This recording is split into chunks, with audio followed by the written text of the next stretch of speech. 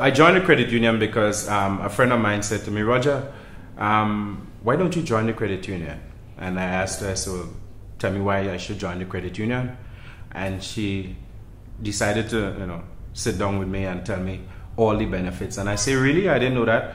Simple from starting with savings. When you put your savings into the credit union, you actually get a lot more than, than what the banks will give to you.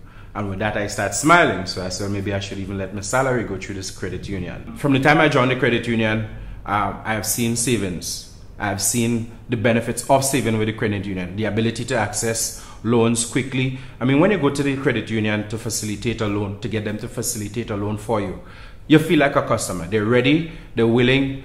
They, you know, it's like they're just waiting at the counter for you to say, "Can you do this for me?" We always hear to talk about, you know, your customer is your best asset when you have business. But with the credit union, they certainly show you that you as a customer is the asset and nothing else matter. I would say really and truly it's the best thing for any young person starting to work or any older persons working and have not done so. I would say it's like hot bread and butter. You should definitely join the credit union.